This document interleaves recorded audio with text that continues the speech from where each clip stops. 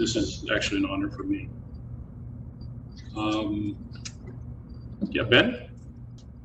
Um, Hi, everybody. I think this is only the second event I've attended in maybe 19 months, so it's a little, um, it's it's like I don't have training wheels. I still, I still have the training wheels on, so He's Not always really like sure. this. He's always like this. So, just, just wind me up and Okay, once I start get going, cool. I can tell Isn't you. this technology great though? uh, Yes.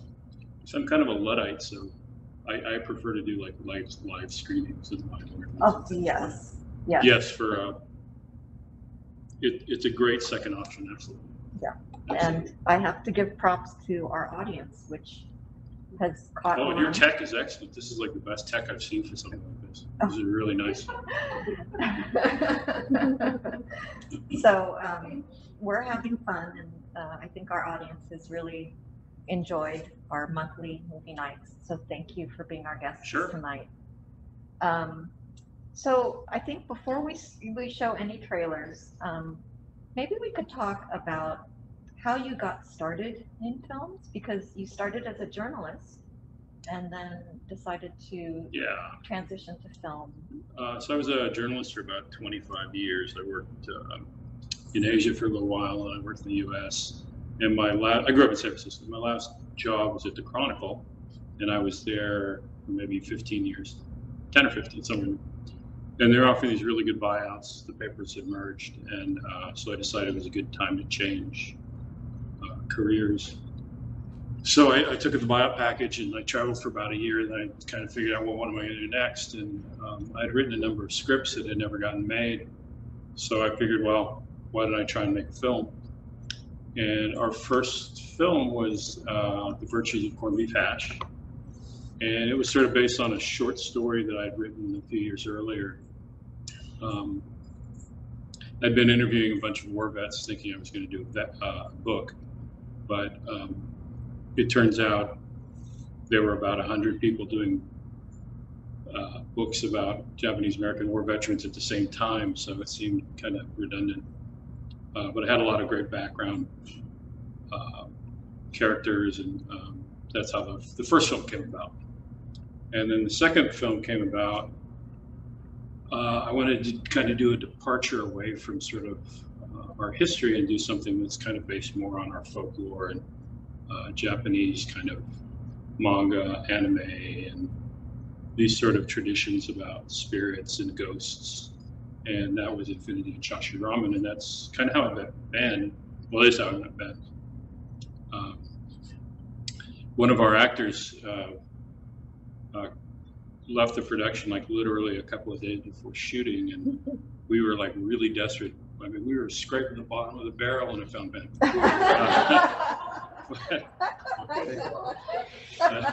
They, they had to be. Yeah. So anyway, Ben Ben was a Facebook friend he, through Hiroshi, and uh, he had posted a bunch of like arts and festivals things. So I thought maybe he was an actor, and I, I sent him an email or a text. And, um, if I recall correctly, you kind of turned me down the first time. You were hemming and hawing about it, and then you your wife told you to do it. Uh, Am I remembering My that wife and daughter both told me to do it. Yeah. So And, uh, yeah. Was that the acting part or the, or The- production? The acting. the acting. So he, he came in in Japantown, and of course everybody hits it. Everybody in the cast was either Asian American or Japanese American, so we all hit it off really well. And uh, so he took the, jo- the part, and um, later on I found he, he's actually uh, really great at camera work. And so now he's been working as our DP for the last two or three films projects. Yeah. Oh, what was your first, um, project as DP? Uh, director of photography? It was puppies, puppies, puppies. Yeah, we were we did a What? contest. Yeah, I remember that. I Forgot about. It. Wow, I really. Wow, that does not show up in your biography. Yeah, It's- it It should shouldn't. not. It shouldn't. Um, there's like this. They do these like 72 hour film filmmaking contests. So on a lark, we we did it, and it was it was pretty dreadful. Uh, I mean, we never But done it. it. So Well, that was just one of the lines. Was puppies, puppies, Oh. puppies. And it was like, Oh, so they feed you these three lines and you have to use them within it. And hopefully all the, all the, the video on that has been deleted. Uh, Pretty sure I've deleted it. Uh, Ben, Ben probably has one, but, Um, I, I don't have the edited versions, I just have clips. oh, good. Good. Oh, But, okay. uh, I'm sure there's one out there. Yeah, I hope not. Um, yeah, then we, um, we did a web series called Gold Mountain. It's a crime drama in, in San Francisco. Then we did Kikan, uh, which we screened for you guys uh, a couple of years ago. Yep. And that's about it, I guess. It's Mhm. that. Okay, well, this is a good time, I think, to show a couple of trailers. Um, Sure. Just in case people have not watched um, these films, we thought we would share the trailers with you. Um, So we're going to show first the trailer for The Virtues of Corned Beef Hash, which was filmed mostly in um, San Francisco at May's beloved May's Coffee Shop, which is no longer Yeah. no longer there. And then the second trailer we're going to show is Infinity and Chashu. So, um, Justin, can we see those trailers?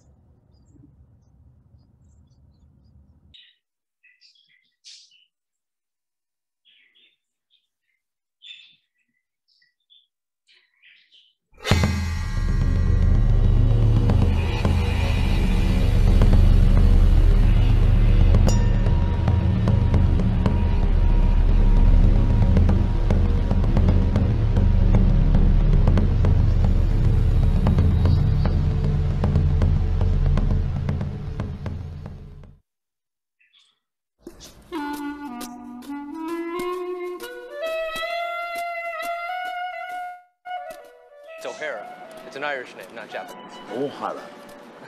O'Hara. O'Hara?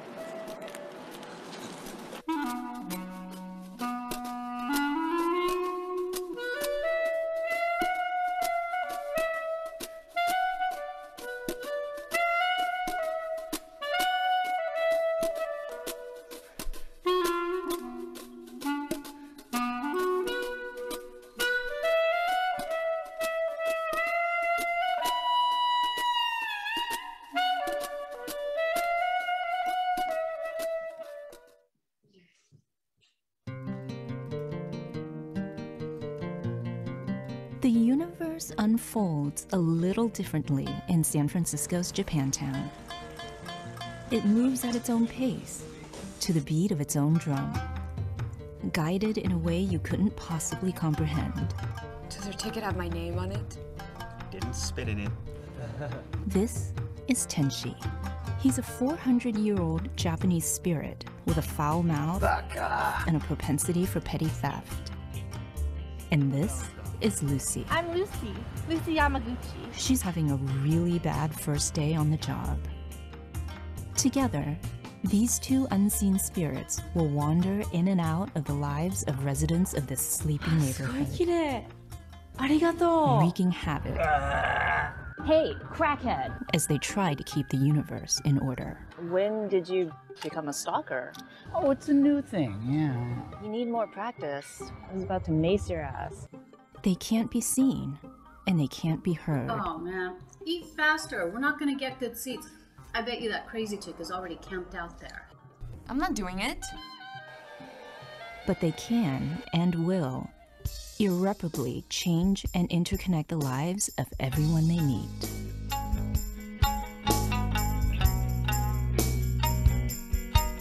The grand scheme of things is too complex for any one person to truly comprehend. It's infinity. It's Chashu Ramen.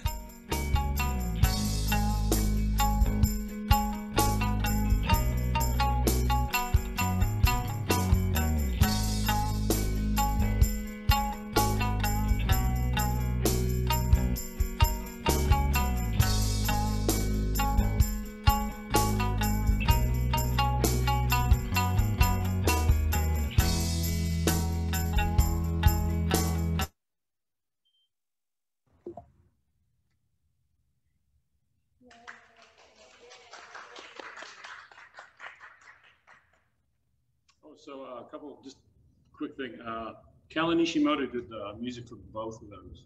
So he did the clarinet piece on uh, VCBH, and then he did the uh, the uh, Sanshin on uh, uh, ramen. How about on Kikon? Uh, no, we did, uh, we did, a we had Saki Kono, who is a jazz singer here in the East Bay, did the track on that. She did this great version of uh, When Johnny Comes Marching Home, but she sang it in Japanese. which was Oh, Really wow. nice. So um, I know when we were um, waiting to start and people were signing on to Zoom, um, I was hearing some comments people were making about Infinity and Chashu Ramen. So feel free to type those into the chat and we'll also um, maybe open it up to the audience if, if um, time permitting and let you say your comments. Right now, I'm sorry, uh, there were so many people involved with that. Jason Liu uh, was uh, uh, the DP on uh, Chashu Ramen. He, he sh- shot some really striking stuff. Not nearly as good as Ben, of course. But it, it was really, really quite good. Well, um, I'd like to bring Ben in. So how was how was the experience of acting in? Um, had you had any acting experience before? No, I have a- actually have a whole story about um, about this on uh, Discover Nikkei. So it's called The Accidental Actor. So if you want to hear the full story, just go to the Discover Nikkei, type in my name in the search, and one of those stories will be uh, The Accidental Actor. But um, nope, never acted before except in uh, Japanese school in like, eighth grade or something like that. That's the, probably the last time I did any acting because they always put on the end of your play. Um, no, I just basically winged, winged it. Oh, really? Wait, was there a script or was a lot of this improvised? No, there was a script. yeah. It was a script, but my whole I think my only advice to him was just play an old Sansei guy. that's basically I played myself at like ten years old. So method acting. Okay. I'm not sure I would call it. Um, but, but, uh, one thing Hiroshi told me later, he said, oh, you were better than, you know, who's that other guy that you're in the scenes with? Who's that other guy? You were better than him. So I don't know if he was, got me confused with the other guy, but, because he couldn't remember the name, or he was just telling me a story. That's, I, He's probably just trying to get free lunch.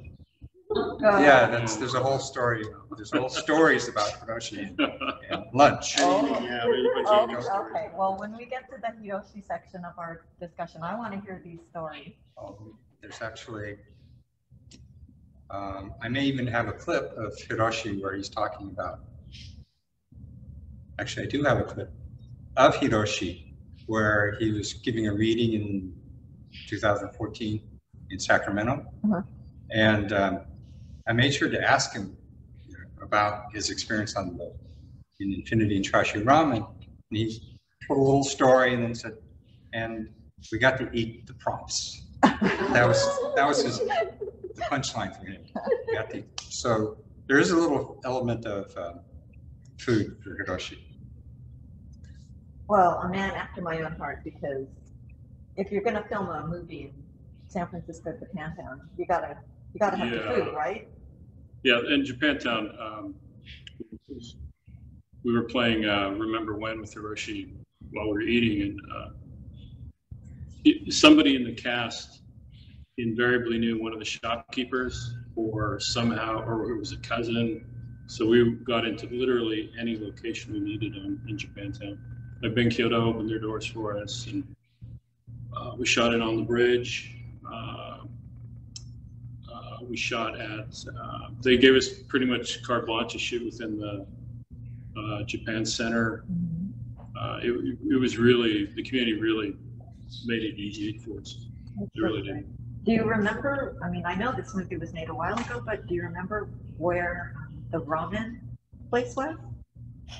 Um, it was weird because we beat the ramen craze, and there really there were only a couple of ramen restaurants. So all the ramen we used was either made and delivered to us, or we shot um, in pieces as cut-ins. But there was a guy who owned a ramen restaurant on 28th and Clement, and we shot the interiors there. That, that was one of the few scenes we didn't shoot.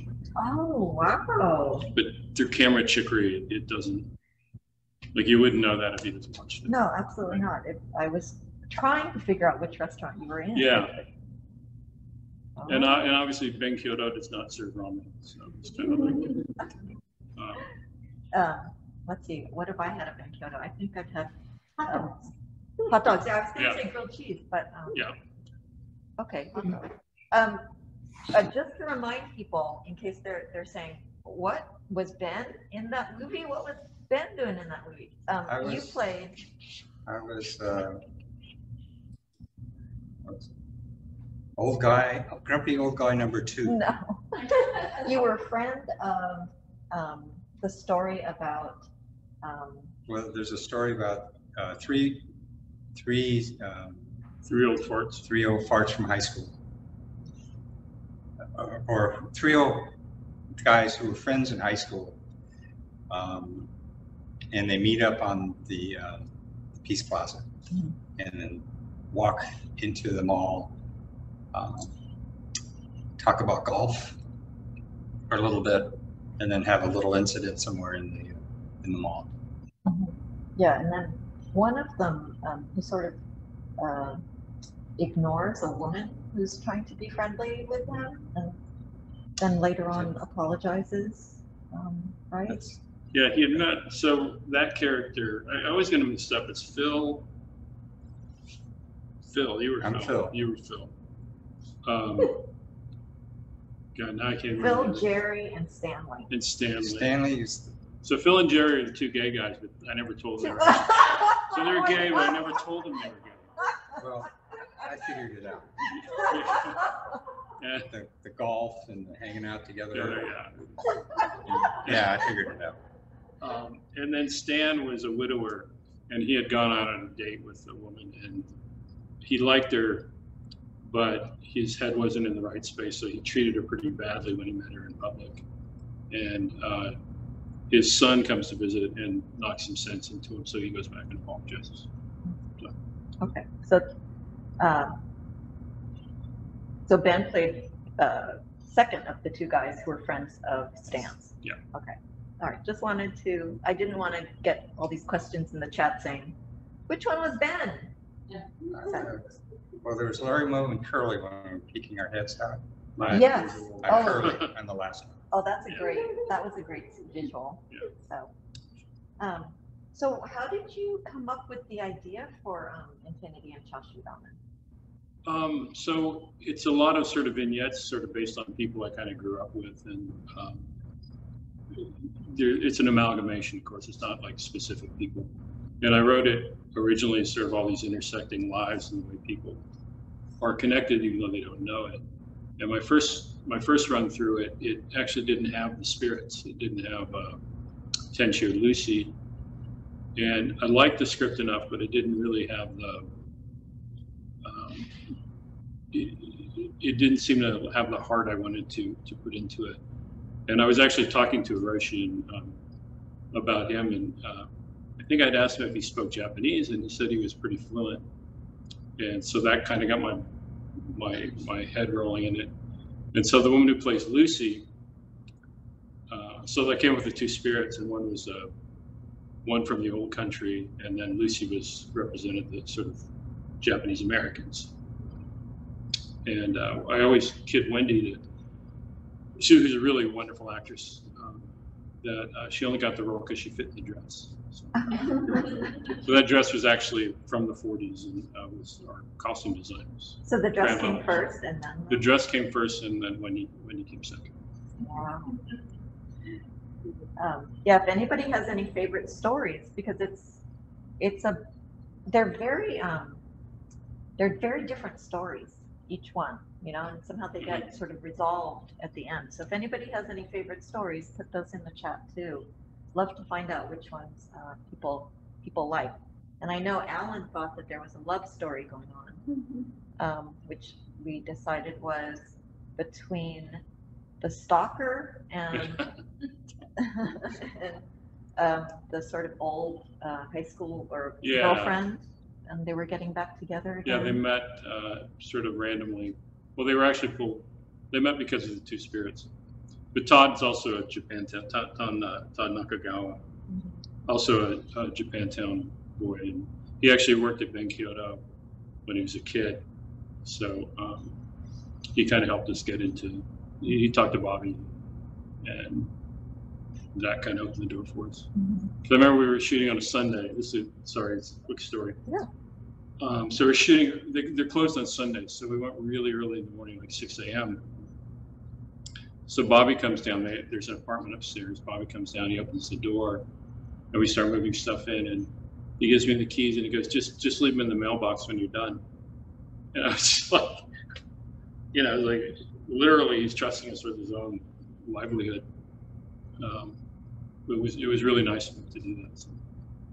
Wow. So, um, was there actually any um, manju in the display cases? Oh, there wasn't. It was Sunday, so they didn't. They didn't have. They don't. They're not open Sunday, so they didn't make anything. Okay. Ben, did you have something you wanted to? I just was There's reading a the comment. question. Oh, there is. It's about Can you read it? Uh-huh. I was shocked to see Randall Nakano starring in your film. I hadn't seen it since he was about ten years old, I guess, in church. Anyway, maybe you could explain how the woman in the bed was able to see the spirit in the red dress. Also, was a woman in red a relative of this woman? Her picture was on her vest. Oh, the Chizu Omori. Yeah, Chizu. Oh, Chizu. I love Chizu. Um, Chizu out there? No, Oh, man. Oh, I know. She never answers her emails. Um, so I love Chizu because, like, I go, "Hey, Chizu, I got this part in the movie. You you want to do it?" And she'll say no. And I'll, I'll call her. up, I got a part in the movie. You want to do it? And she goes, no. And I go, Chizu, you want to have lunch? And she goes, Yeah, we'll have lunch. So we have lunch. And Chizu, so we'll eat lunch. And I'll go, Chizu, you want to do the part in the movie? Yeah, I'll do it. Oh. So was it just Hiroshi? Yeah, I don't know. They're like old people that just want lunch. I don't know. It's crazy. It's, it's lunch. Every, you know, usually lunch may be dinner also. Um, We don't eat that much at I can relate. I can relate. Oh, um, I'm sorry, the question. Um, so if you, you're paying really close attention early on, uh, Lucy talks about her sister Rose. And, um, so, um, part of, part of the, the loop on Lucy's story is that she gets to meet her sister again, but it's 60 years later. So her younger sister's now 90. And that's why the picture's on the, the frame. And at the very end of that scene, um, Hiroshi goes, "It's time to go," and he's not really talking to Lucy. He's talking to to to Rosie that it's time for her to, to pass away. So that's why they could see the spirits, or she could see the spirits. Yeah. Yeah. That was Yeah. very moving. And we shot that at Kokoro. Uh, Oh. They were really nice of us to let, let us shoot there. Kirk Mia, Mia, Miyataki and uh, Jimmy. Can't remember Jimmy's last name. Sorry, but they're they're really generous to let us shoot there.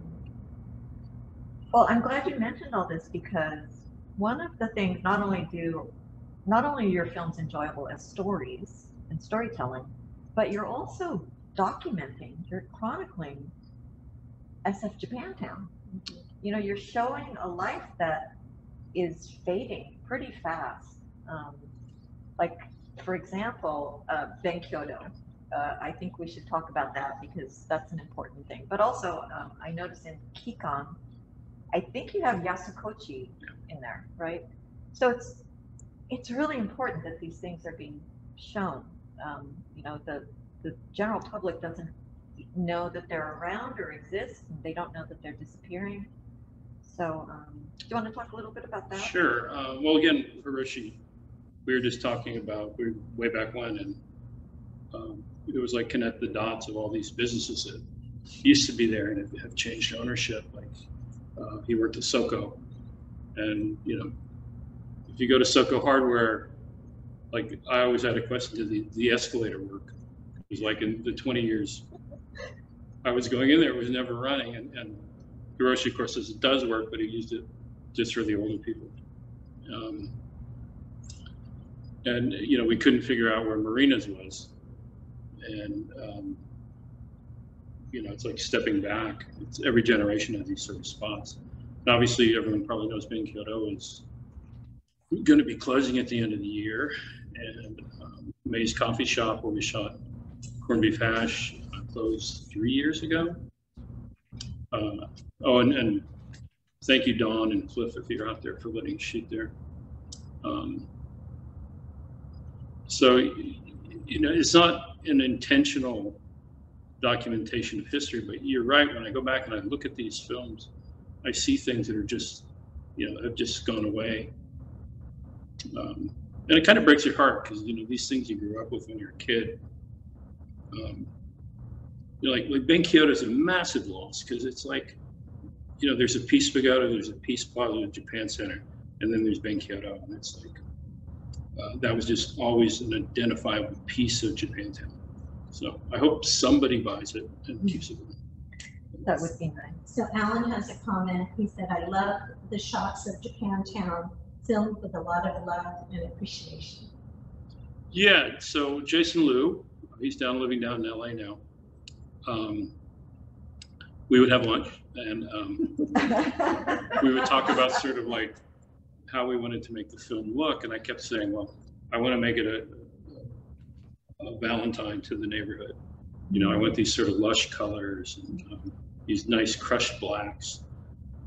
And um, each of the scenes, if you notice them, like um, there's an angry girl at, at New People's Cinema. There's always the walls are always orange, so there's there's that feel.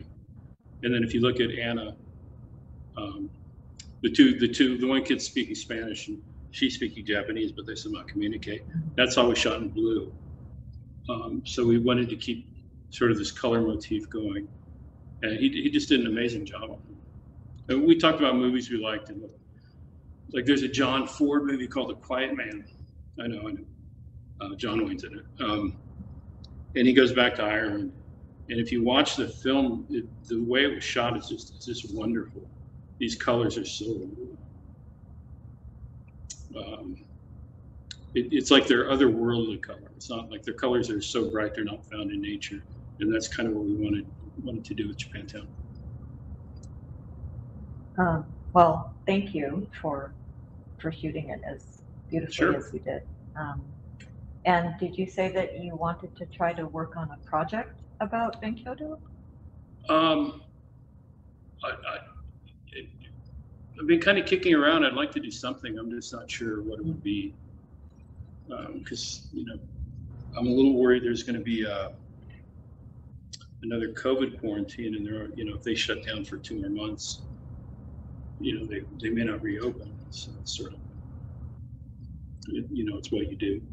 Yeah, I mean, time. I guess you're you're really impacted by the lockdown because uh, it really impedes um, shooting or any kind of movement, right? Yeah, we had uh, had a few screenings set up for our last one, Kikan, but the COVID hit and we weren't able to do that. And then we've had a couple of false starts on our next project. Can we talk a little bit about that, like um, and then also the the movie that you'd like to make uh, as sort of a sequel to Kikan? Uh, sure. Have we, did I answer the question? I can't remember if I answered the last About- question. Did I? I think so. Okay. Um, I'm droning on, I'm starting to lose focus. Um, so Kikan, uh, you made a, a good point. It's like we made a reference to the sweet stuff because I love crunch cake there. And it was kind of like um, Moses and Hatsy had been there, you know, I guess since the 70s, since I was a kid. Do you, do you remember? Yeah, of course. And um, so that was the reason for that. And there's a couple of other little sort of Japantown references within it. Um, so that that one we shot kind of out of really out of order. We shot Hiroshi's the the final sequence first, and then we shot the other sequences. I think we shot the. Did we shoot the war sequence or the table sequence first? They're pretty close together. I think we shot the, the, the, the table sequence first, Table and then the war and then the porch. on subsequent weekends. Right. Um, yeah, so we, boy, this is really dragging on here. So Hiroshi and I would, had been talking about doing a play. And we had, uh, we'd been going through readings on it. And it was the terrible third act. Um, and somewhere, you know, maybe our third or fourth reading on it, Hiroshi was, um, and, and Hiroshi, great actor, and he's total professional. And uh, he he dropped me an email. and He said he wasn't going to be able to do it because he's having problems hearing, for one thing, and, and also his memory's going. Um, but he also mentioned he wanted to do another film. You know, he said something like, "If you have another film role, I'd, be happy to do that." So that was sort of the genesis for Kikan. So, and we shot that first. And the it, Kikan is part of a much larger story, and we felt that that was sort of the best short I can make that would also have a part for Hiroshi in it. And so we wanted, so we're now kind of thinking about doing the full movie, which is about two families during the war, one from the city and one from the valley, and sort of how it's a little bit like ICR because it's about all these lives kind of intersect. Um, you know how, how they intersect both within the camps, within the war. Uh, there's a big sequence about a no-no boy, who um, a lot of it is Hiroshi's in that. Um, and sort of how after the war the community comes back together, but it comes back together a little bit disjointed. And, um, you know, it, it, it's still a struggle to um, continue on. So that was that's sort of the full movie. But again, it's like we want to do that, but we're running into problems with COVID and shitting schedules. And the original cast is like they're all young, so they've all moved to LA. So it's it's it's gotten a bit tricky. So did you always know that Kikan was going to be a, a short or? um, No, it was originally part of the, the bigger Okay, script. okay. We, we cut it out specifically because it worked Okay. as a short Mhm. better than the other sequences. So this um, longer movie that I hope you get to make um, is Kintsukuroi. Is that a working title, or are you pretty sure? Um, I'm pretty sure that's going to be it. So that's uh, one of our actors is a potter, and I was talking to her about it. And so there's uh, kintsugi, which is the the way broken pottery is put together using gold, um, which are bonding.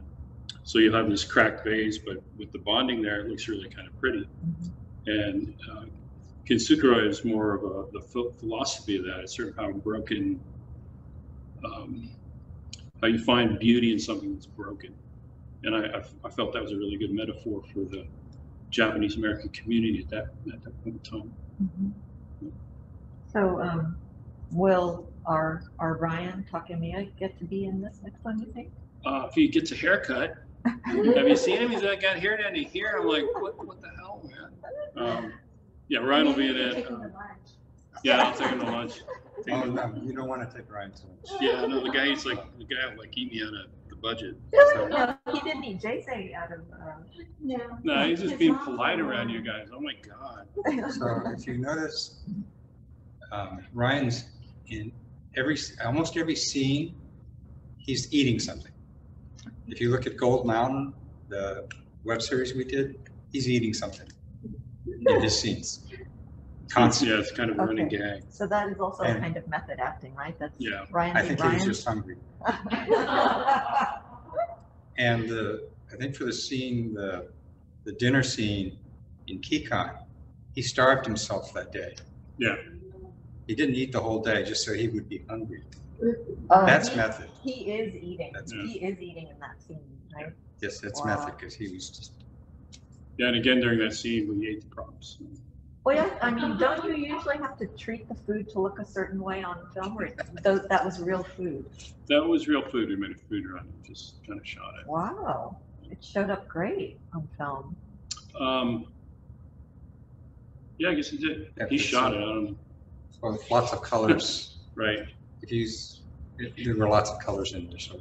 Yeah, so with, with that scene specifically, we shot it in a really dark, uh, a friend of ours, uh, Sandra, has a really dark, it's a 1930s building and it's a really dark dining room. And it worked out really well because it created this great sort of like, um, you know, it's a dark brown and it sort of was this sort of like claustrophobic thing. And then the food and the acting kind of made it feel like a home. Um, Yes. It, it worked out really nicely. I guess Japanese food is just, or Japanese American food is just naturally photogenic, right? It made me hungry. I mean, Yeah. every time I see Japanese food on Right. on film, I immediately get hungry. Yeah, Chizu, of course, stole the scene. Yeah. Did you tell her to do, or did she, uh, was she speaking from script, or did she? Yeah, it was all scripted. Um, so the, the weird thing about it was that during rehearsal, she kept botching the Japanese. She was just terrible. And it was just kind of like, so we're thinking about, okay, so we're going to shoot it um, by piece. Like, um, it, I don't know if we should tell the story, but so she, we were doing the lines and she, she, she botched it. And she just like, God damn it. And it was really funny because it's cheesy and you're like, what? Um, so she's having trouble and having trouble, and we're just like, well, we're going to shoot shoot it line by line, uh, which is a little more difficult, but but very doable. And she nails it. She like literally nailed it on the first take, and we're just like, wow. Um, uh, yeah, and she was, you know, obviously, she she would joke that it's again not a stretch for her. She's a little adult, so. But she's wonderful. She's Yeah. so wonderful. She was terrific in that scene. Yeah. Um, well, let's, why don't we show, um, Ben's videos? Um, so we can segue to our, um, second part of our discussion tonight to talk about Hiroshi, since we've already brought him up a few times to talk about the films. Um, so we'll show a couple of, um, films. We'll show A Meeting at Tule Lake, followed by, um, I think it's called Art History. No, the, the artist. The, oh, the artist. The artist. Sorry, the artist. Um, and that shows you a couple of different facets of Hiroshi. So do you want to um, tee it up and talk about it before we show it? So the, let me talk about the second one. Okay. The, the artist, it's, um, one of the things I wanted to do when I was interviewing Hiroshi was find people that knew him to talk about him. And I would ask him, well, Hiroshi, who, who do you know that you would want me to interview? And he would hem and haw a lot about. You know, that everybody's so old. So I kept, at, at some point, I, maybe I asked him about his art, and he, he said something about Wendy, uh, Wendy Yoshimura, who's his art instructor. And we had shot, uh, and, Kerwin and I had shot um, one class that he had been in a few years earlier. So it some, somehow that brought it up. And he wanted to go visit Wendy because he hadn't been to class in a while, or he had stopped going to art class. So he was very excited. And that's, um, that sort of set up the whole meeting with uh, Wendy in her uh, studio in Oakland. The, the um, a meeting at Tule Lake is um, uh, Hiroshi and a bunch of us in Infinity Chashu Ramen went to Bainbridge Island in Bainbridge, outside of Seattle. And as part of that, he did a reading in the Luke, Luke Wing, Wing, Wing Luke or Luke Wing? Wing Luke. Wing Luke. Uh, he did a reading in the, the museum of, of various poems and stories that he'd written. And one of those was a meeting at Tule Lake. I captured that. I had no idea what to do with it. So at some point during my interviews with Hiroshi, um, I had this idea, and, uh, I, and I think actually it was um, it was because Hiroshi Himizu, Shimizu uh, sat with uh, Hiroshi to have a meeting or to be interviewed together. And in that um, in that interview, Hiroshi Shimizu says something about the poem, about its significance. And so at that point, I think that I think it's hard to remember exactly. That kind of was the, the seed for putting together um, the meeting at Tule, or meeting at Tule Lake. Great, thank you. So we're gonna show both of them back to back. Um, um, a meeting at Tule Lake is about fifteen minutes long. And the artist is about uh, a little over eight minutes long. And then after that, we're gonna bring, um, Kerwin and Ben back.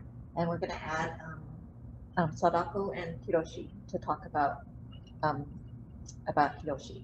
Okay, so let's watch those two videos.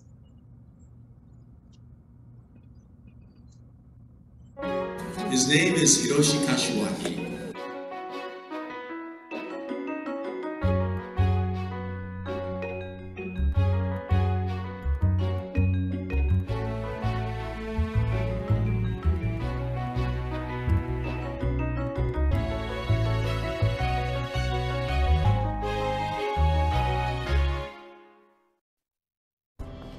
Is Hiroshi Shimizu, and I've been uh, working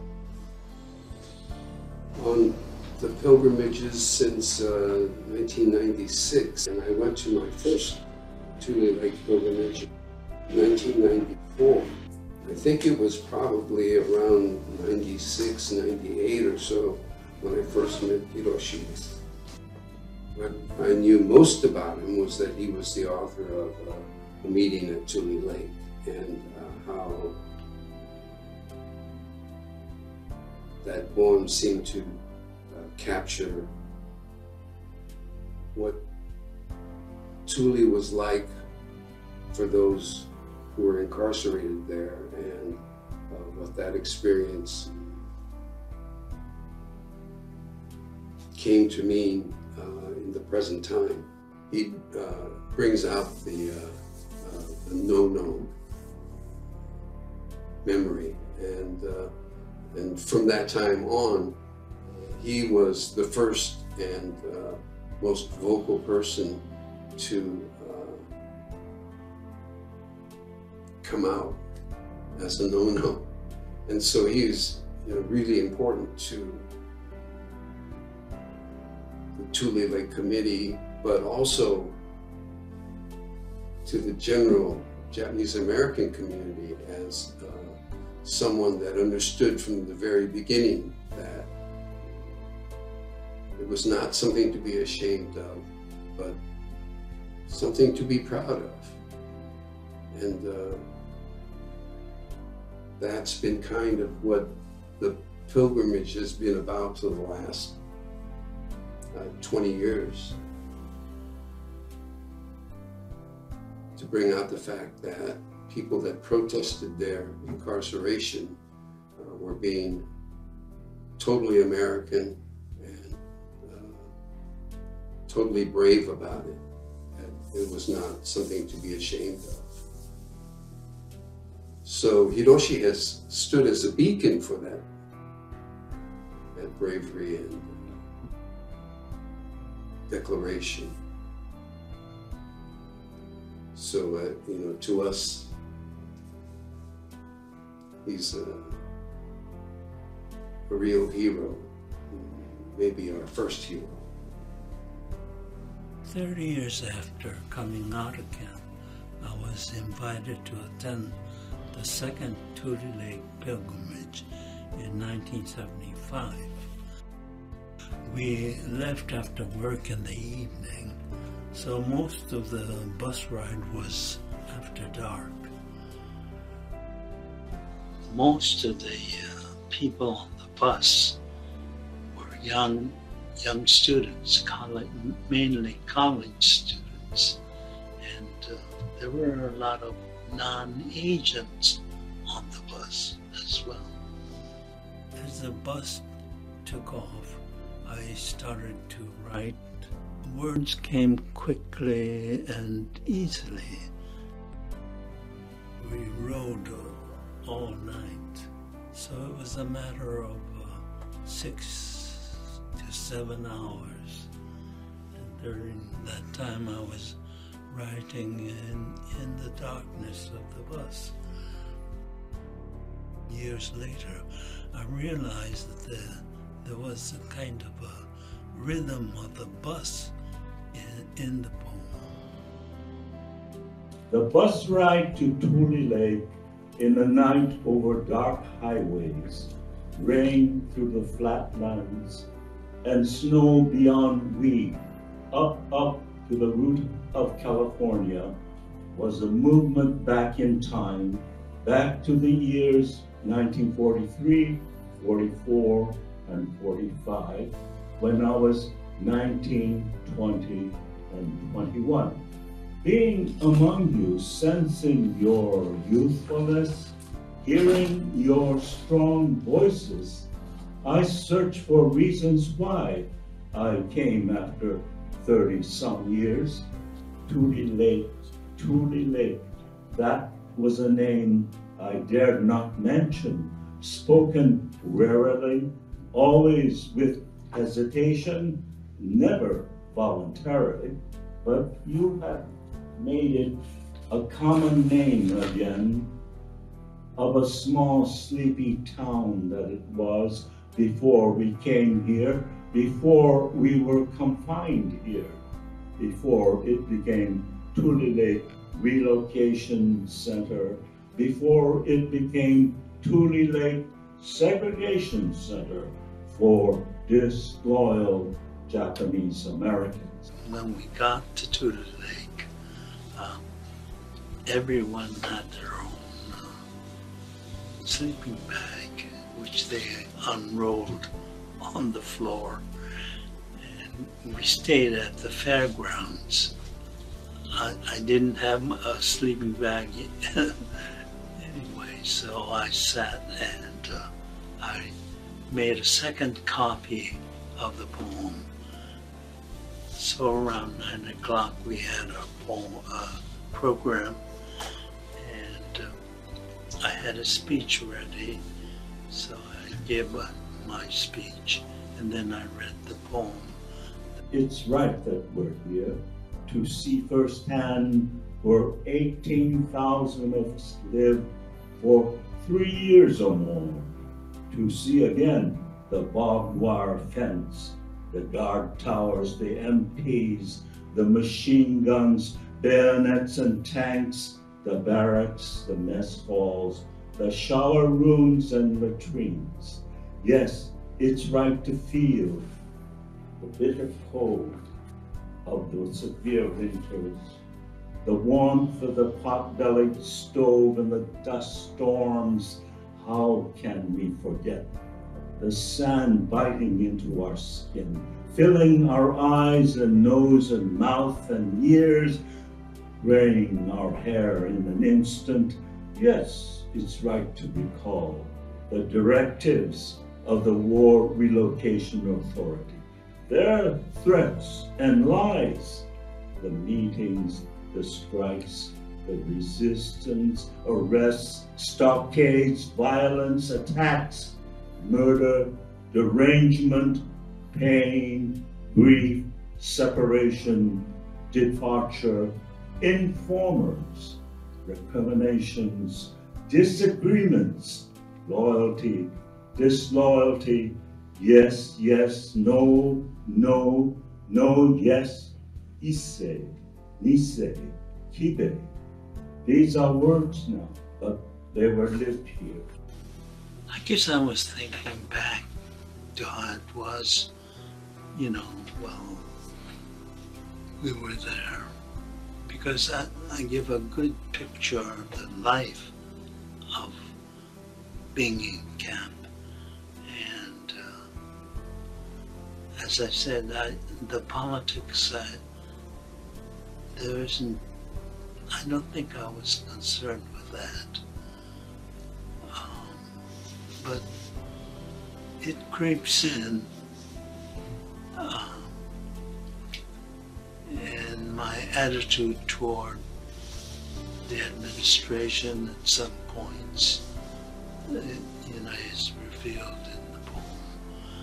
And the, my attitude toward the, how the government treated us also comes out in the poem.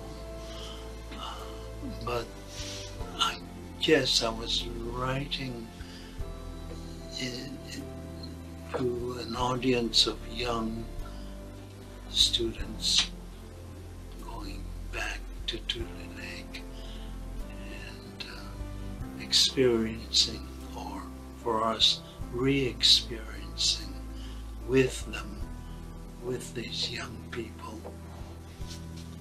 And in a way, I was trying to tell them what camp was like. There were deaths and births and love making in the fire break with the warden's flashlight shining on you. Yes, and movies, socials, dances, sports, card games, and religion. Sewing classes, flower arrangement, doll making, wood carving, beauty behind barbed wires. Recreation was big, it was encouraged. Keep 'em busy, keep 'em occupied, keep 'em sane, for heaven's sake. But a Chronicle reporter observed there are 18,000 mental patients living in confinement at Tule Lake. So it is right that I remember and tell it. I wish I could share the feeling I have now with the Issei and Nisei, they who lived here, they who do not speak of it, who pass it off as a good time experience. Through the years, you know, you be, begin to realize what really the, what the government did to us and how I reacted and and the the uh, difficulties I had because of the limitations that the government had placed on us, and uh, you wondered who if if I had been responsible for it or was it the government, and uh, as time went on, I realized that it, what we were victims, and so uh, should call it what it was. And we were imprisoned and against our will, and uh, so we began to assert our rights. And then we were wronged as citizens. And uh, as time went on, I became bolder to speak out the truth of what really happened. Whatever we did here, the commitments we made, loyal or disloyal, compliance or resistance, yes or no, it was right.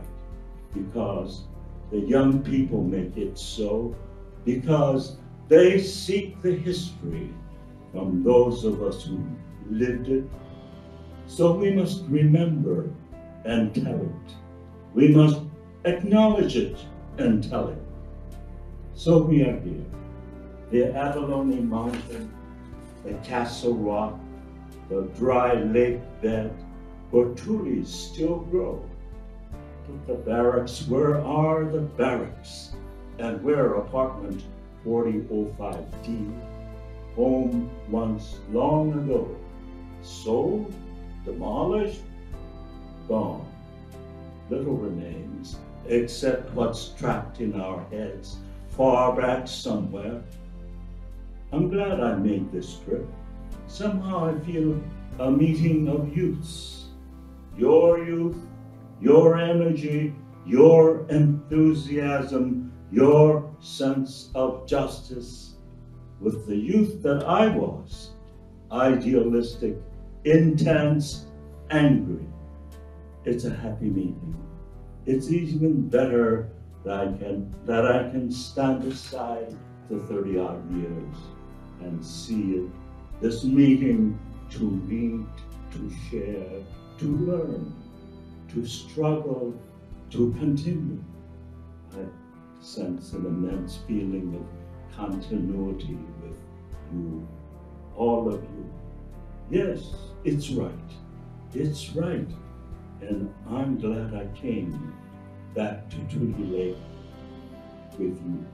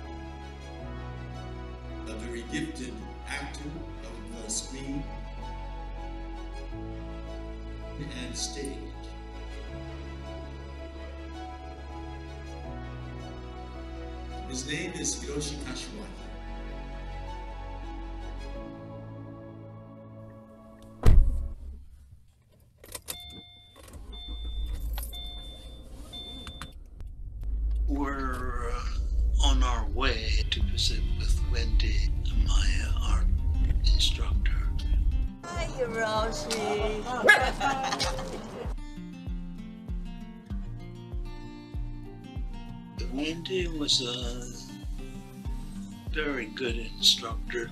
She was not too intrusive. She would show us exactly what we should be doing. And individually, she gave these instructions. She said that everyone has his or, or her own style. You do such a great job. You really do. You don't know yet, huh? Do you? No. You know. You know, you you do the kind of work that you know, especially the one that we do in our classes. You know. Yeah. You show it to me, and I know it's yours. Yeah. Yeah. Oh, oh. Yeah. You know, I recognize it. That that's yours. You know, Sometimes like, I, I think I'm lazy. no, no, it's not. No. No. Why? Why you say lazy? Well, I don't know. You know, I see the other students, they take their Oh yeah, brush. yeah, and yeah, yeah, go- yeah. No, it just it's just a different style. You just oh. kind of you just really catch the feel of that flower, you know, Uh-huh. and you just do it. It's so good. Oh, You, you really, yeah. I feel Sort I, of I in- might be cheating. No, no, no, no, no, no, no. You know, I go to the market, not market, but you know, Trader Joe's and pick the you know flowers, you know, for them to paint. And I remember this, and he just captured it so well. Just I, I just love the way he did it. Just he got it. Feel of that plant. Oh, Yeah, you do. I love it. You know, compared to mine, not, you know, mine is all anal, you know, really detail and all that, but he just got it. Like, you know, choo, choo, choo, you know, it's like, he has the flower, you know, flower, just put in the yellow, you know, whereas like mine would be, you know, petal by petal, you know. It's really, really nice. I love it he improved so fast. He became familiar with the watercolor so fast. And he had his own style, you know, that I could recognize, you know. I got my BA in Asian languages. I wanted to continue in graduate school, but UCLA didn't have uh, graduate courses. So I decided I would transfer to Berkeley. So I came to Berkeley in September 1952, and I was interviewed by one of the advisors, and they said, well, you have to repeat this course and this course. So he said I would have to repeat the course that I had passed at UCLA. So I had an artist friend, a painter, Compers Saito, and he and I used to talk about art. He would have a studio somewhere, Yeah. and when I go visit him, his uh, apartment or something, then there'd be a notice that I'm at the studio. Oh. So you it would go. Be upstairs, Uh-huh. and I had to throw a coin against the window to get his attention. Yeah, because he's painting. Yeah. and I remember visiting him that way. I see. But we were very good, close friends. And so I was convinced that I should switch majors. Oh, because of him. Uh, yeah, we, we Oh. would talk about art. Yeah, yeah, You know. yeah, yeah, yeah. And so I did. Oh. And I was starting fresh. Oh. Course in art, art history at UCLA. Yeah, yeah, yeah, yeah, yeah. And so I had to spend a whole year, you know, with the undergraduate courses. And then my second year, I was uh, doing seminars. So I had to watch all the slides. Yeah, yeah. That's why you knew all that. Yeah, yeah. Sketch the Sketch them. We used to sit in the dark and watch I know. slides and then sketch. So we could remember. So you have to pick out some outstanding peculiarity Oh. in the, the work. It was so competitive. Oh, it's yours. And oh, you have you went to main- Cal, so you yeah. have to maintain a peace. Oh. And somehow, yeah, I would pass the test. Yeah. And then I had to take some drawing classes. Oh. And we started in the Greek. Oh God. I don't know if we had Roman. We sure had a lot of Greek. Greek. yeah. And then the Renaissance. Renaissance. And then later, I don't know whether I had the impressions, but I I just liked that. Yeah. So I picked it up on my Yeah, own. yeah. On your own, yeah. Yeah. I really like Impressionism, the French Impressionists. I'm sure that that has influenced me. So I had a course in, in, uh, in drawing and then charcoal drawing. So that was the extent of my art uh, training. And I think that's where I picked up painting technique, um, the idea of composition and how painting is done. I really enjoy doing it in a way. I, it's easier for me, it seems almost, than writing. Writing takes, it seems, more effort, although different in different way. But uh, at this point, I find uh, painting uh, very, very good for me. Come on, Toby.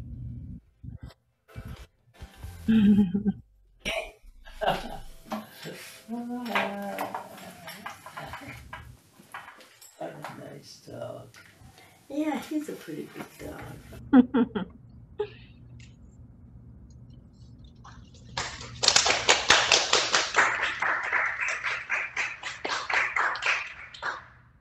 So let's invite our other guests, um, if you don't mind moving to the outside chairs. I'll ask Yoshi and Sadako to join us.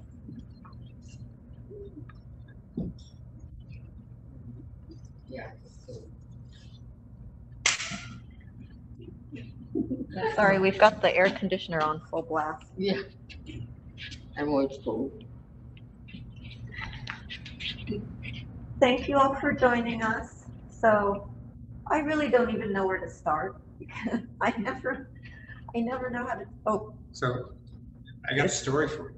okay. You want me to Can start? everybody hear? I just want to make sure everybody can hear us. Okay. So the- There's food, there's a food story in this. Okay. Um, at the very beginning of the, the artist, Hiroshi and I are in the car driving. So the meeting with Wendy was sometime in the afternoon. But Hiroshi said, no, no, come early, come early, because he wanted to go to lunch. So, so we went to lunch before we, we went to, um, to, to see Wendy. Were you driving? Yes. So who was taking the picture from the back? Or who Uh, was I had shooting? a, I had a camera set up Oh, um, on a, on an arm connected to the, uh, the headrest. And so I was able to get that. There's also, um, as, as part of that, there's, I did a takeoff on streets of San Francisco with Hiroshi. So as we're driving, as we're driving, I put together a, a short clip of, of Hiroshi as we're driving out of San Francisco into San Francisco through neighborhoods to the, the streets of San Francisco theme. So Oh my God. Unfortunately, because it's copyrighted, I can't really, you can't use the music? um, YouTube slaps a Oh. violation on it. And I don't really want to, I could probably put it on Vimeo, but I don't want to, it, it is copyrighted music. I don't want to use that without Oh. actually having paid for it. Yeah, that never stops me. Yeah, I mean, you're among friends. You're among 80 of your closest friends. Just go ahead and send it to us. Um, I think it's on Facebook. I'll have to Okay, look. I'll have to okay. look. I would love to see that. So again, there's a food component to having it. Love it. I mean, that's what being Japanese American is about, I think, right? The food. Where did you go? Do you remember? Um, not exactly, it was a Japanese restaurant, maybe fifteen minutes away. Uh, I'm not even sure where it was. Food was good though.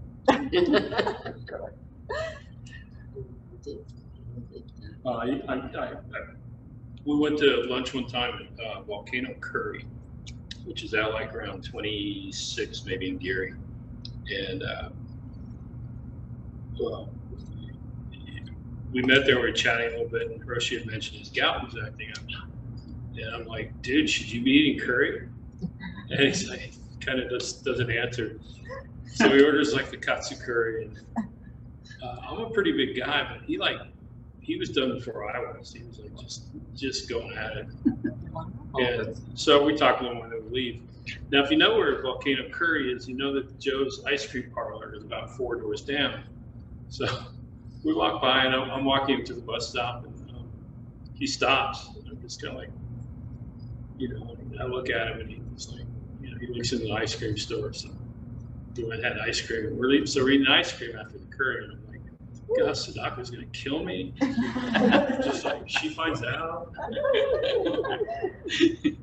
So is it true, Sadako, did Hiroshi have a really good appetite? Oh, yeah. Did, who was the cook in the family? Was it you or was it? You know, I was mainly a cook. He, he had some, did some cooking. Mm-hmm. And he liked his uh, rice. He said my rice was too soft. He said your rice was Yeah, off? yeah, it was too soft. I said, okay, you complain, you cook it. So he started cooking the rice. Wow, I wonder why it was off. Hmm. Did he have favorite dishes that you made?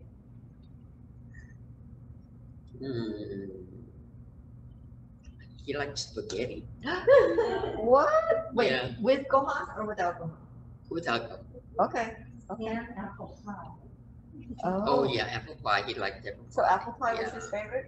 This gives me a good uh, excuse to thank Amy and Fuzzy and um, Yuki and Har- Haruko for making the apple dessert, which was in honor of Hiroshi tonight. Thank you. Also, the curry dish was also really good tonight too. So thank you, Chef Eugene. Um, you know, one thing that uh, I was sort of noticing when I was watching The Artist was that um, Hiroshi talked about um, studying, it was called Oriental languages at the time, Asian languages at UCLA. He wanted to get a master's degree, but Berkeley didn't have such a program, and how he took art history classes or he started to practice art. But he actually did attend UC Berkeley to get a, a master's degree in library science. That was later. Oh, that was later?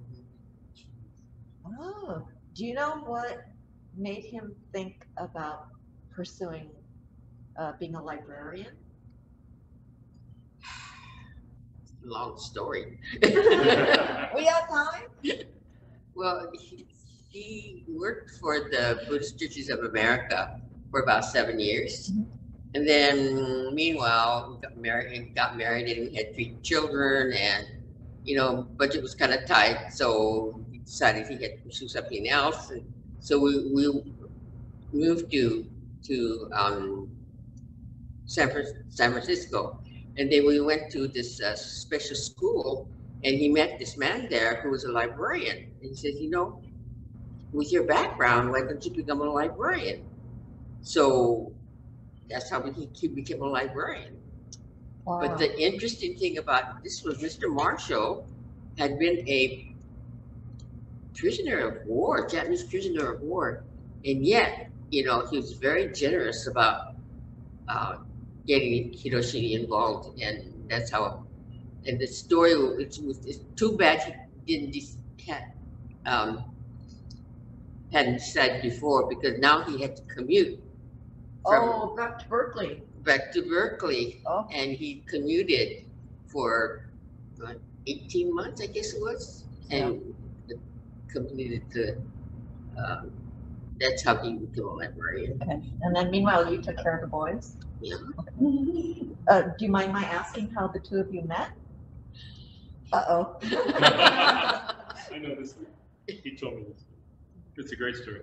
Well, actually, you know, he was a block manager in Block 40, and I had a friend there, and I lived in Block 45. So he was a block manager, and I was what? He was Block 20, and I was 10, and I would run by there, you know, um, to visit my friend. And he noticed me at that time, and you know, 20 years, 10 years different. I wasn't aware of any of this. So then I, I, I get to Berkeley after I get a job, and I go to the Buddhist church, and we get to talking, and lo and behold, you know, we find out we're from the same area. You know, he's he was from Lewiston, I was from Newcastle, which was another seven miles up the road. And but because of our, our age difference, uh, we didn't know the same people, but we had the same background. So that was a plus. Wow. So you met when you were 10? Well, yeah, yeah. Right. Wow. I guess. wow. That is a long time romance. That's a little creepy. I used to tease your dad about that all the time. yeah, man, dude. No. Um, well, does anybody have memories of Hiroshi as a librarian? He was quite the Oh. legend at SFPL in the Western Addition. I do. Um, so uh, when we were casting corned beef hash, we we had set a shoot date and we were getting really close to it. We hadn't found an actor yet, and Hiroshi's name came up. We were, we were talking about it, and said, "Yeah, he'd be perfect." And but we didn't know how to contact him, so uh, somehow I got an email address that turned out to be Hiroshi's, Hiroshi Jr.'s email. So I emailed him and he goes, I got an email back and he goes, well, I'm not the actor, but I'll let my dad know. And so, you know, sent his dad the script and he came on board. So we met for lunch again in Japantown. And, uh, uh, you know, and of course I, I knew, knew of Hiroshi before that. And I always, you know, there's this tendency to like make people larger than life.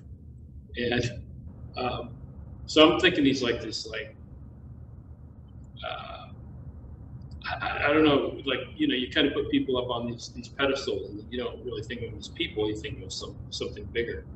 And because of his activism. um, So we started chatting and um, uh, we, we hit it off. And it turns out he's running a Western Addition library. And I was kind of a latchkey kid.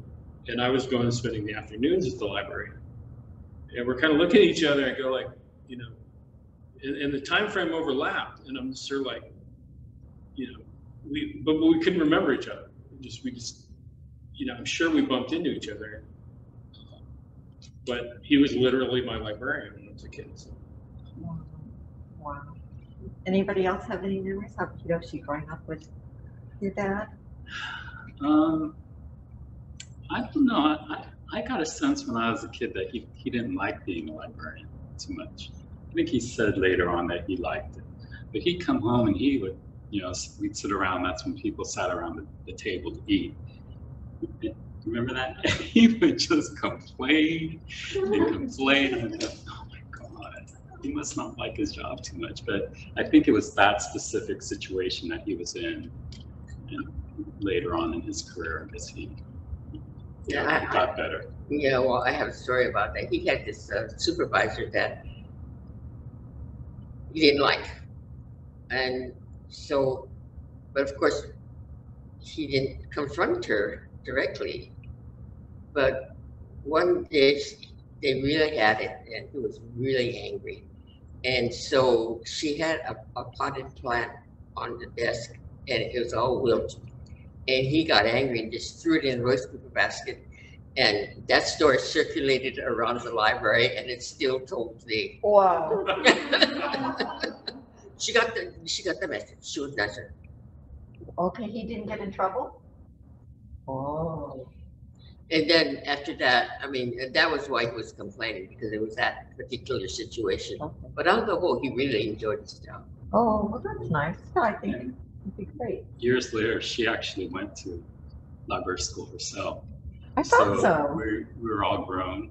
She was in her 50s, and she moved from San Francisco to Berkeley.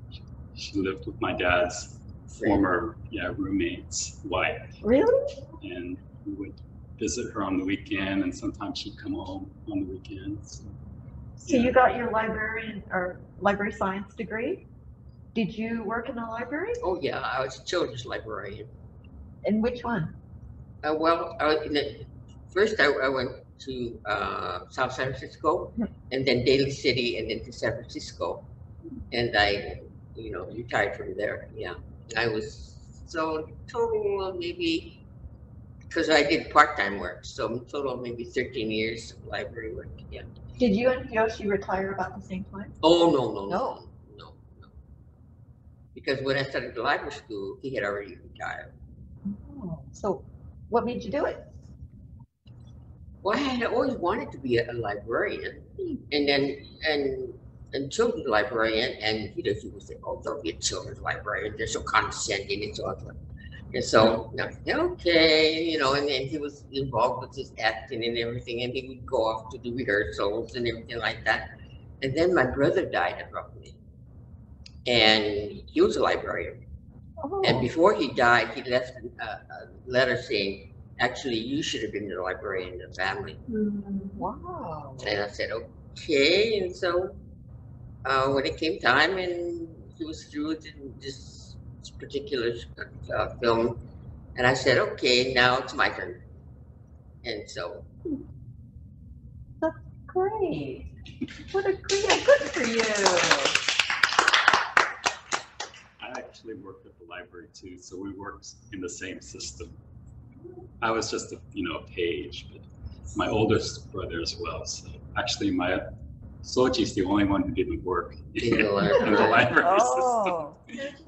Yeah, I want to, I want to invite Soji to join us. Um, and also if Hi. anybody has any questions to ask, please put them in the chat. Happy to, um, this, this is your chance to ask questions about Hiroshi.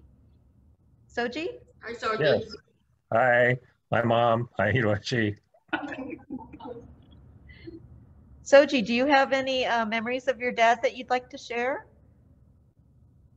Uh, he liked to eat lunch a lot. Yeah. I sense a theme here. um, so Kerwin, yeah, thank you to Kerwin for taking him out to lunch many times. I know they must have had some really nice, you know, conversations, and he probably knows things about my dad that um, none of us know. But uh, and also thank you to Kerwin for um, making these films about my dad and really kind of um, bringing him back to life. Uh, and you know, um, just seeing him again is really something um, that I'm grateful for. And to uh, Ben also for making those touching films um, about my dad and, and tailing him around and kind of like stalking him with his camera. uh, that, that was, that was like, uh, I remember that. Um, but um, uh, yeah, it's just, uh, you know, he's been gone since 2019, October, and um, it, it really feels like he's still with me and with us uh, through, you know, films, but just to sort of like a energy about it. And every time Tule Lake comes up, and, you know, they just had the uh, uh, virtual Tule Lake pilgrimage. And a couple weeks ago, Hiroshi and I um, did a trip up to Tule Lake um, where I was interviewed for this TV show called um, Black Files uh, Declassified. And uh, it was about government overreach, and Tule Lake was an example of that. And so I was there as a descendant. Um, and I really felt like I was with, or my dad was with me um, while I was standing there uh, in Tule Lake, inside the jail. And yeah, so that that's kind of what I want to share at this time. Wow. Did he talk about it much when you were a, a kid? Uh, Tule Lake? Yeah. He would always say Tule Lake is is not my favorite topic to talk about. Yeah, and so um, when we were kids, I don't know, Hiroshi, I don't really remember him talking about Tule Lake that much. You know, like a lot of Sansei, my parents would talk about, they make this kind of cryptic reference to camp. Oh, that was during camp. And we didn't know what camp was. I mean, this is when we were really young. Um, and so we would kept, kept hearing this reference to, to camp. And, you know, we didn't exactly know what that meant. And it wasn't until like at the early 70s when my dad started um, coming out and talking about his experience uh, did i understand uh, what happened you know to them so yeah.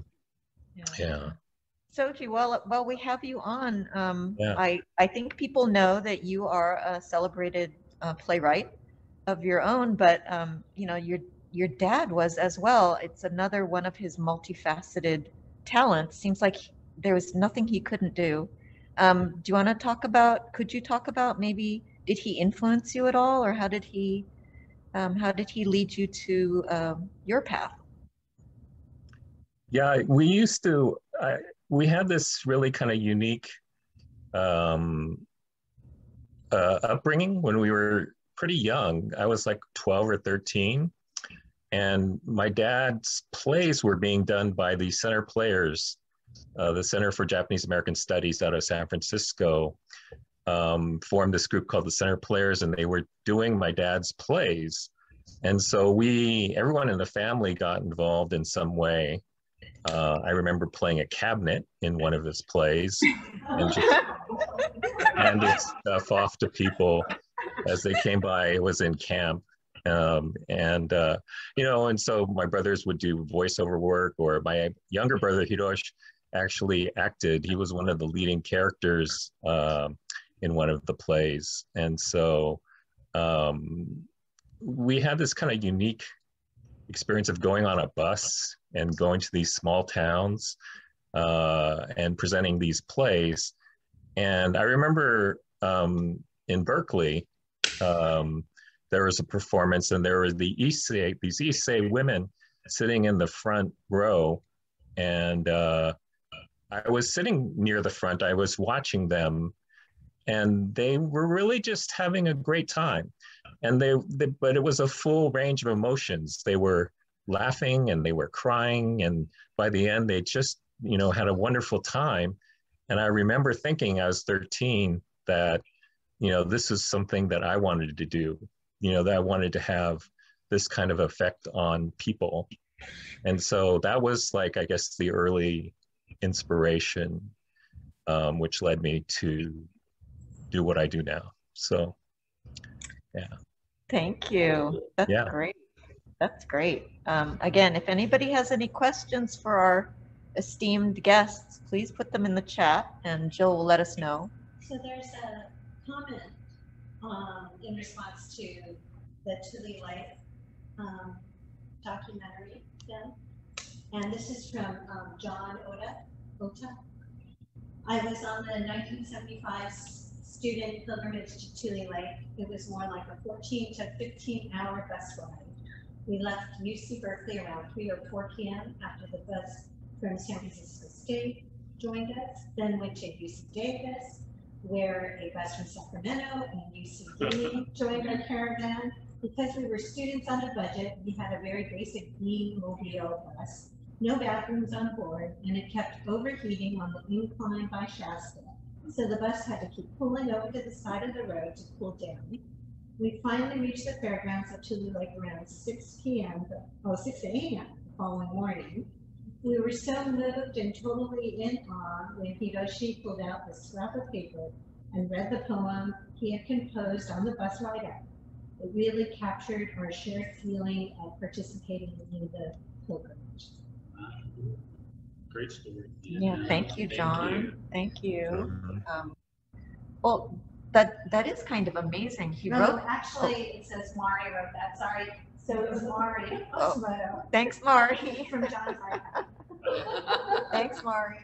Um, he, he wrote a meeting at Tule Lake on the bus. Wow. And after I went to the next one, and I remember being at the, uh, sleeping on the floor in Canberra. And it was after that, I think, uh, um, Hiroshi's group took over and started go to going to uh, OT. Uh, OIT. OIT. Yeah, and, and, and accommodations were, were more suitable than I mean, you know, we had bunk beds and stuff like that, but yeah. Wow. Ben, what did you, what did you get out of um, stalking? uh, um, It's not really stalking if you have permission. So, Well, um, other than, other than Hiroshi liked to eat, um, well, I, I got a sense he knew a lot of people. Um, even though he wouldn't, he didn't want any of them to talk to me. He knew a lot of people. So, uh, I guess some of the things, uh, I went on the pilgrimage in 2016. That's where the, the uh, photos of him on the bus come from. So I, I was there um, on the bus, um, got to meet George Takei as part of it, and that's. Um, I almost got to interview George, except I, I made a mistake on my part and not just interviewing him right away. I wanted to do it later, and can't ever get on George's schedule. So I moved that one, but I was able at least to capture um, George's intro to Hiroshi when he was uh, uh, when Hiroshi gave uh, readings uh, on the next to last day of the pilgrimage. Uh, and I'm not sure I answered your question. Well, I mean, did you, did you uh, have good talks? Did you learn a lot from him? Did you? Well, one of the things I wanted to do when I interviewed him was for him to talk about things that he hadn't written about. To um, um, so like the the the artist, he never. There may be some references to um, drawings that he's done, but he's never never talked about, not in detail about his artistry, and I wanted to explore that. Um, uh, and I, I didn't want to tell, I wanted to try not to tell stories that somebody else told. I wanted to try and not tell them with, with a similar, similar story, not to tell them in the same tone. Because you can find videos out there on YouTube of Hiroshi reading a, um, a meeting of Tule Lake, and he's angry. It's shown as an angry thing. And I didn't know Hiroshi was angry at all. In fact, in um, in one of his, one of his um, public readings, he's asked, why aren't you angry? And Hiroshi starts laughing. He said, well, I can be angry, but it takes a lot of energy to be angry. So what I wanted to do was show Hiroshi not angry. And um, actually, I wanted to show him, uh, never got to this point, but to show him uh, in areas where he had been, like where, where did he live before he uh, lived near the beach? And we talked about that a little bit, but we never got to the point of actually you know, going there and filming that. Because he, he would talk about it. When when his sons were little, they had a, a place, and it was a walk-up, I think. By the, by the park, Grove, Grove Street, Grove, yeah. So, um, and I got it. There's a few scenes of him in the library um, where he's actually doing a reading of Ocean Beach to Koto. Actually, I, that that happened by accident because uh, we had a uh, that day because of Infinity and Chashu Ramen, we had a, um, a screening at Senior Center somewhere. Yeah, yeah, I know what you're talking about. I can't make it And right. somehow that day I was a chauffeur because I got to drive their car. I drove them to the, uh, the screening and then the next thing I drove them to the Western Addition Library where Hiroshi did the reading. Oh. That's awesome. Uh, yeah, you need a chauffeur anytime. We have a question from Pam Matsuoka. She asks, can Hi, you, Pam. hi Pam, can you talk about the books that he wrote starting in about 1991, going on for the next 13 years? This is how I learned the most about Hiroshima family. 1999, which book was that? Let me, I think so. Um, hi, Oh, that was Mondo. That book was Mondo.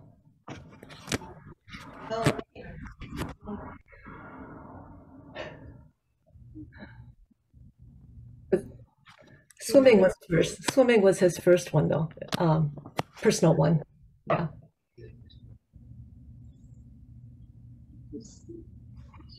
Yeah, does anyone have anything to say about um, Hiroshi as a writer, as an author? Well, I, I, you know, he, before segregation, he was in a, a art group at, in camp and he had written The Space and he was the only non, the others were all college graduates or had at least one year, year of college.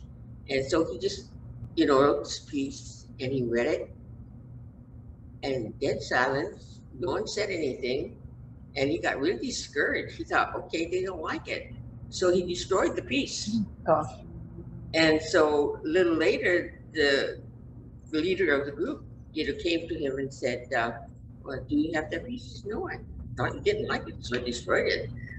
So my point being is, if you really like something, say so. yeah. Um, does anybody else have questions? Um, I had one question from Hiroshi. So we haven't talked a whole lot about um, your your dad as an actor. Is that something he always? It seems like he's he'd been acting since fairly young. Uh, and did you get that bug from him?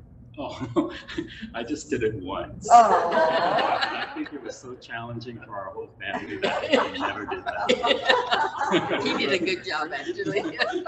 I think it was too stressful for everybody. um, yeah, I know. I think my dad had the, the acting bug very, very young, um, but he didn't really pursue it. There wasn't, you know, there weren't opportunities for Asian actors. You know, even now it's it's pretty scarce. And but he really enjoyed it. I think he was a rather natural. Um, I think I, I seem to recall having a conversation with him maybe a couple of years back, and if he had any regret, I think it was that he didn't pursue acting. But, you know, he, he did pretty good. I mean, Kerwin was using this 95 year old guy, you know, just a couple of years ago. Yeah, he has, Yeah. he just had this natural screen presence and just Yeah. charisma Oh, was camera oozing. just love his face. Mhm. One one memory I have is from the 2018 pilgrimage, and he was getting kind of old. He was walking with a stick. He wouldn't use a cane, so he used a stick, and you know, he's having trouble breathing a little bit, and so he always read at their um, the last event of the pilgrimage, and that night I was like, oh man, I hope he does okay you know, because he's just seemed tired. But it's like he's an actor. and when he got in front of light that, switch, yeah. yeah, and I'm like, he was pretty damn good. Mm, yeah. he was impressive. You know, if it wasn't, if he wasn't my dad, I'd be impressed. I mean, I was. you know, all the stuff that he's done, like when he passed, there was all these, you know, things about his life, and he's a pretty impressive guy. And I think for my brother and I, it was kind of like, hmm, you know, that's dad, you know. you know, it kind of got to be a little matter of fact. Like, oh, he's on the news. Okay. Well, he's going to go to the White House. Oh, okay. Yeah. doesn't everyone's dad do that? No. Okay, so we screened ICR at, at the AMC Theater in Japantown, a huge auditorium. And we were making all sorts of calls, and David Chiu, who was the supervisor at the time, um, is a friend of a friend of mine. He gave Hiroshi this, this certificate, you know. And uh, so he comes up there.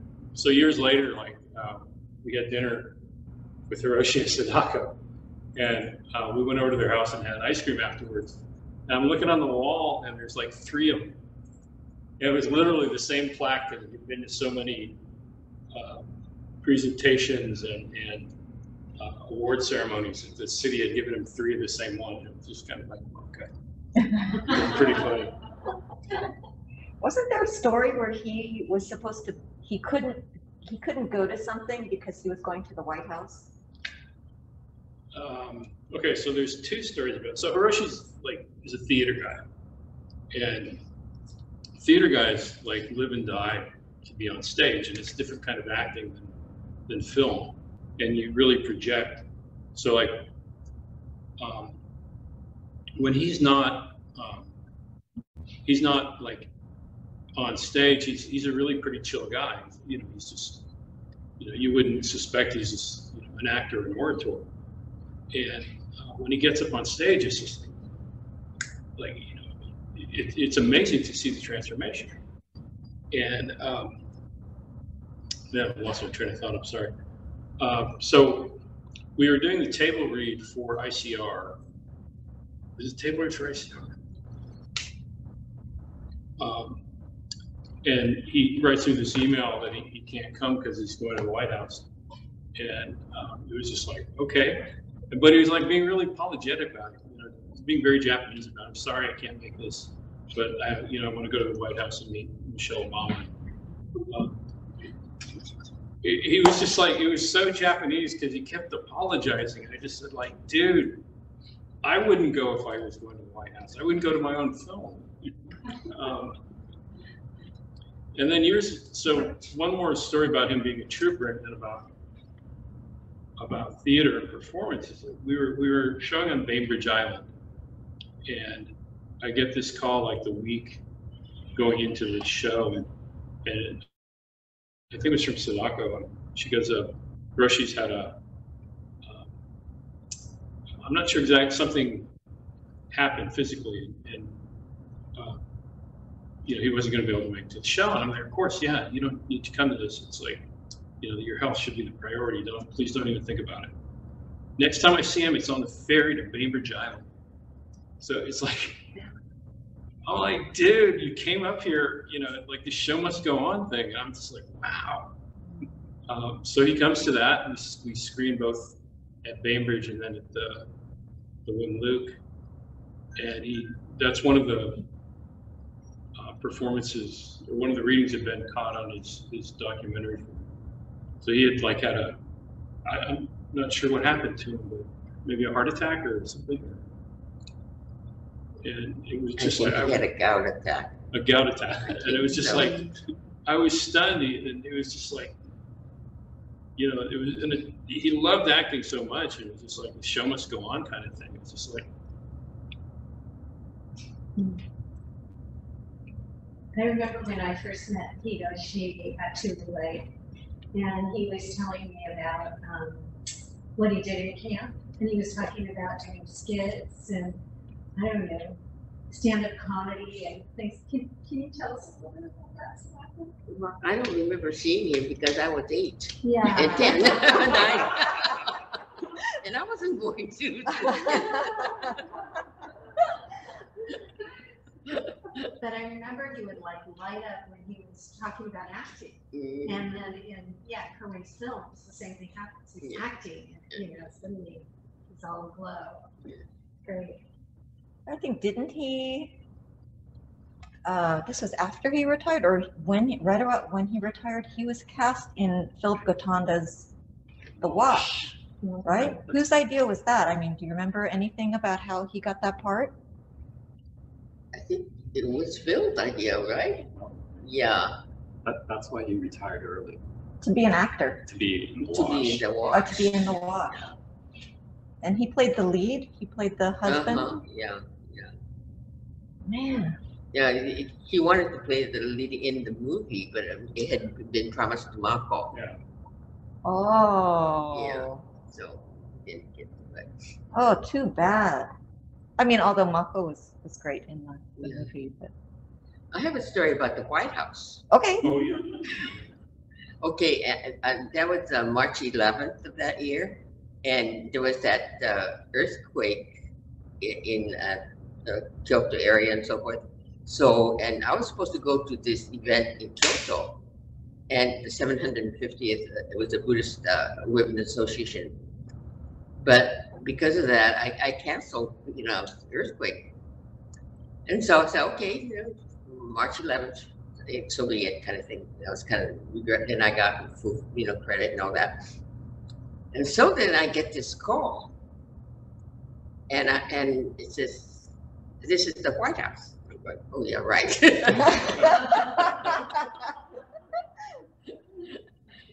and it was called. says, Are you available on March 11th? I said, and so check with Tito. He says, yeah. Said- I said, why? He says, well, there's it. Uh, April was or is um, poetry, you know, uh, National Poetry uh, Month, and we're having an event with poets, and we were wondering if you could make it. And I said, okay, well, we'll clear your, you know, calendar and everything, you know, we'll wait for your call. And we waited, and we waited, and we waited, and I mean, it really taxed our patience. Wow. And so we finally got the call saying, you know, and of course we had to pay our own way and, and everything. And but it was worth the experience. And and we went. Uh, oh, and then another thing, I was scheduled to be in LA for one of Soji's events following weekend. And so anyway, I go. You know, we go to uh, Washington and then on the way back, we just kind of, instead of coming home to uh, Berkeley, I mean, to San Francisco, we went out to LA. But uh, yeah, that was quite an experience. Oh, did you buy a dress just for the? Oh, yeah. Wow. I mean, how was that? What was that experience like? Shaking uh, it president's hand. was, well, he had some connections, so he, he uh, spoke at the Howard University. And, or not at Howard, but at, at, at the um, bookstore close to Howard. Oh, uh-huh. Yeah, and uh, so that was very interesting. And then, um, oh, the security, we had to go to security. Oh. And uh, It was, yeah, it was quite an experience. And we had, we had a chance to go tour, because we, had- we had some time. So we had a chance to tour and we went to the Native American Museum had just opened up, so we saw that. And we went to the Smithsonian and I'm—we did make it to, to, um, Arlington. I'm sorry that I, I mean, if I were to go back, I'd like to go to Arlington. But, you know, we got on the, the, the, right, the, the transit and everything. Uh-huh. And, uh, yeah, it was very Oh, interesting. boy. Do you remember if the sakura trees were in bloom? Pardon Do you remember if the cherry blossoms were in bloom? Uh, no, not at that time. I think we were a little earlier, a little late. Yeah. So Mari Matsumoto has a comment about the commission hearings. Mari, do you want to unmute and share your comment? Oh, yeah, I just remember when Hiroshi testified before the Commission on Wartime Relocation and Internment of Civilians. And he used his voice and his dramatic skills to, because people were just kind of, you know, he was reading, but people, his narrative was so compelling. It was just the way he said it that he just held the commissioners in thrall and you know, that was in the Golden Gate um, University. I don't know, it was one of their big lecture halls and it was packed with mostly Japanese Americans listening and it was just silent, you know, listening to him speak and his voice just kind of filled the room and it's just the way he said that it was just so spellbinding that that I remember there there are some some testimonies really stood out and his was one of them that um, it was the way he delivered it that that was just really um, just made the commissioners sit up and really listen and pay attention to. So Yeah, Yeah, he he's, he said that he purposely glared at the commissioners and No, traffic, don't. it's, you know. Someone So, drives down from Roseville to shoot films. I cannot, com- I cannot complain about it. We have one more comment from Grace Morizawa. She says, I once saw Hiroshi walk into a high school room of three classes. The moment he entered, they stood and cheered like he was a rock star. Oh. They had read his work and his appearance meant a lot to him. oh, that's wonderful. Thank you, Grace. Um, Okay, any other last thoughts? I encourage you to unmute yourself if you want to make any